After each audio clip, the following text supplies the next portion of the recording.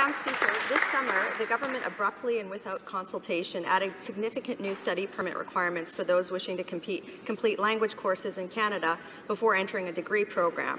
This added red tape is dulling Canada's competitive edge in attracting international students, and decreased fall enrollment in language institutes already is reflecting this.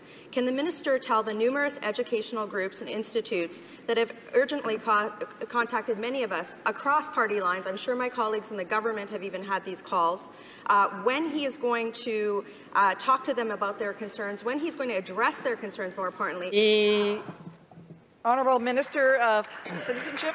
Well, I can say, Madam Speaker, that we are addressing this issue of these conservative imposed rules, which are causing some trouble, and I'm hoping to have a response in September. But I can also say on the international students, we want to court international students.